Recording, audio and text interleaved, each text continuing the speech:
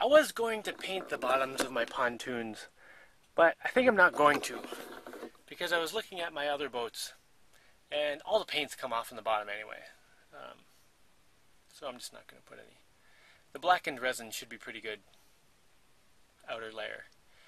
Uh, but I did want to fill in all the little the little holes, the little divots and stuff. And my first thought was to sand a whole bunch of like a block of resin, mix that with some resin to make like paste, and then fill in the stuff there. But when I was looking for my angle grinder to grind up some resin, I found some epoxy. And it was pretty thick, so I figured I could use that. Now I didn't get out the camera because I was thinking, although it's probably like one or two hour epoxy, you know, it might be 10 minute epoxy. It doesn't say anywhere on it. So I just went and did it real fast. It was like five minute epoxy. Yeah, it, it hardened real fast. But I think I got all the the little divots that would be below the water line in normal operation. So I just need to sand those off a little bit. And then, I guess, since I have that, uh, I better put another coating of resin over the whole thing. Wow, that stuff hardens so fast. This was the last batch I did, like, minutes ago.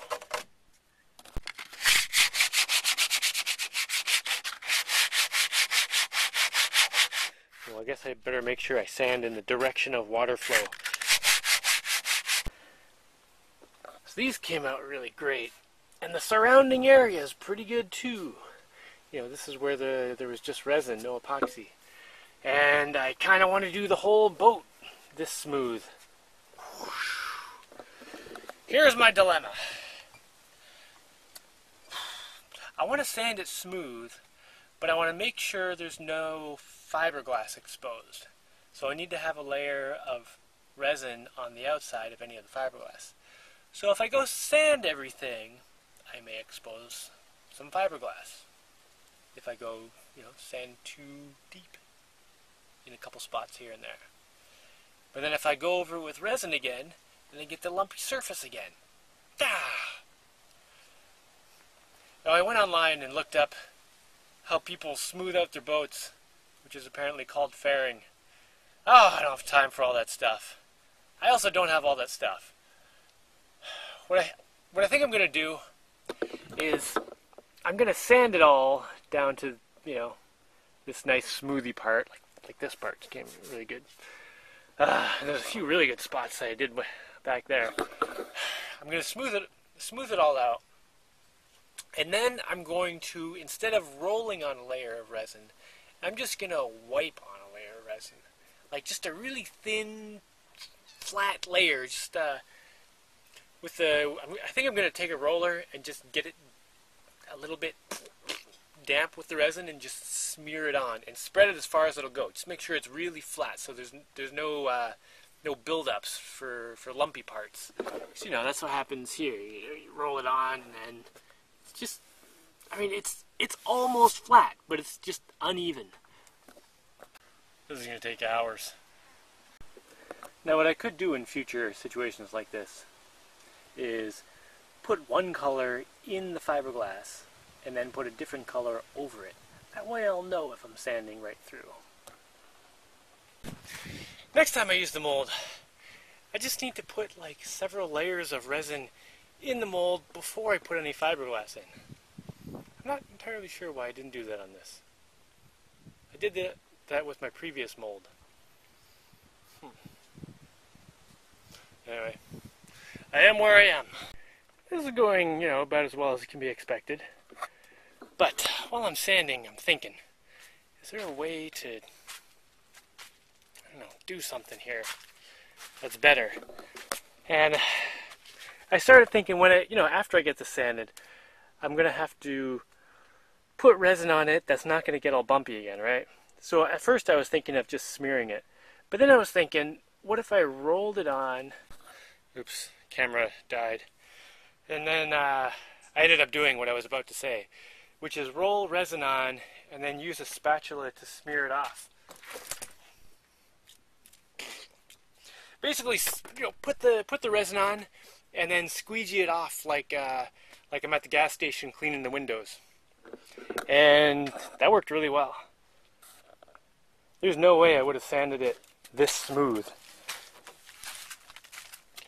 Like here, I didn't sand this part at all, and it was real bumpy before, and now it's just got a little bit of streakiness from the, you know, the dragging of the spatula.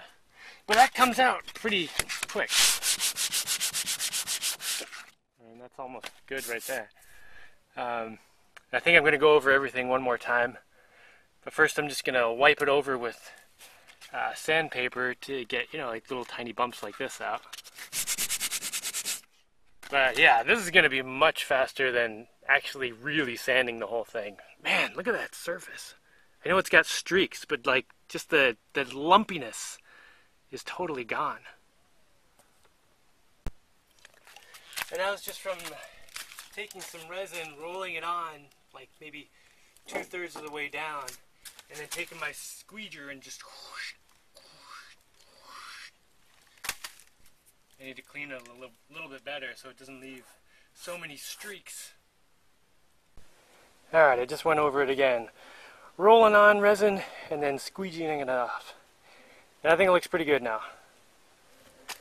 There's a few spots like right here where there's a little bit of a drip. I'll go over that with sandpaper. Like a drip up here. But uh, overall, I think it's looking good. Yeah, much better than before. I was just having lunch, trying to figure out why I didn't just put more resin in the mold to get a resin layer, you know, before the fiberglass. And then I remembered I did on the first pontoon half.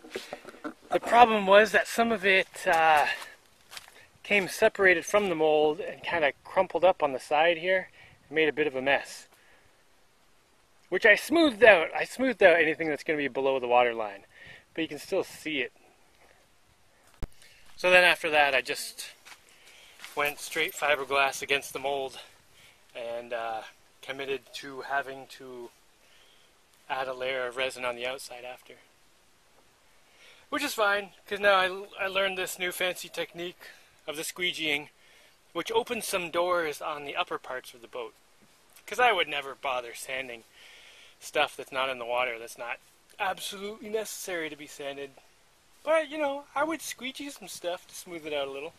It doesn't take that much uh, effort. And I hate sanding because, you know, it makes a mess and uh, it takes forever, uses up all the sandpaper. But the squeegeeing, it's, it's not a big deal. And you squeegee off stuff and you just smear it onto the next thing. So it's a really good, very efficient use of the material. I always find it amazing how many details there are to think about when you're actually doing something from scratch. Whew. Anyway, moving on. I want to put more fiberglass in these stinking pontoons. Like one or two more layers on the inside. I'm not, I guess two would be really nice.